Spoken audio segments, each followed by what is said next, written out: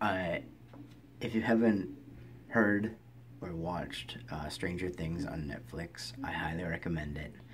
Um, especially if you're as old as I am. Uh, I watched almost more, a little more than half of it. It's eight episodes. It's on Netflix. You definitely need to check it out.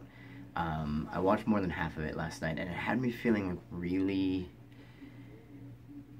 nostalgic for a time when uh, we were obsessed with like flashlights and compasses, and we didn't have technology that kept us connected to things. So like, um, life was just so much different. And I'm like, I was trying to do the math like really quick in my head about how being born in 1980 and living through the 80s and 90s, like where in the 90s, like technology sort of started to take over, and it kind of,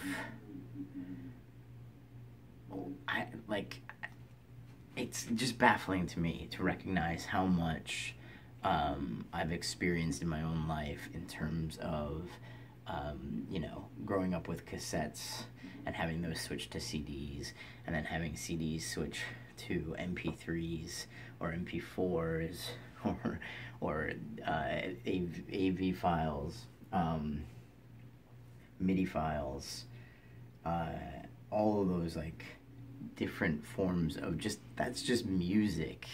And then the whole time, like vinyl's always been in the background, like kicking around, like, hey, remember me? Um, but then you start piling on like the way like radio changed and TV changed and the way movies changed and the the way having technology so uh, accessible has changed not only our lives but also like the way we tell stories uh, it, which is a fascinating concept like you uh, watch movies like E.T. and you recognize that like th- there's a certain craft to stories like that because of the time in which they're told. And trying to craft stories like that in this day and age is difficult. It's different. And I don't know if anyone's mastered it yet because well, we have this, like everything I'm doing right now. Anyway, uh, and it was the first time in a while watching it, something creeped me out in a way I haven't. I mean, it's not like scary, scary, but it's like definitely got that 80s kind of like monster movie, feel to it. And there were several moments in a couple episodes. I was home alone last night and I was like, oh god, uh, it's really, really well done. Anyway, it is uh, Saturday, July 16th. I will see you tomorrow.